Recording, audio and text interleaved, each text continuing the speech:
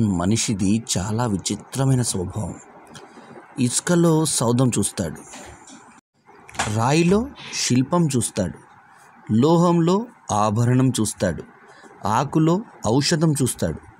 అద్దంలో అందం చూస్తాడు.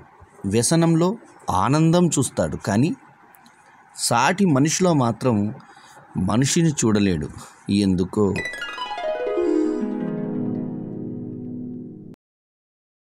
ఈ వీడియో కనుక మీకు నచ్చితే లైక్ చేయండి కామెంట్ చేయండి షేర్ చేయండి.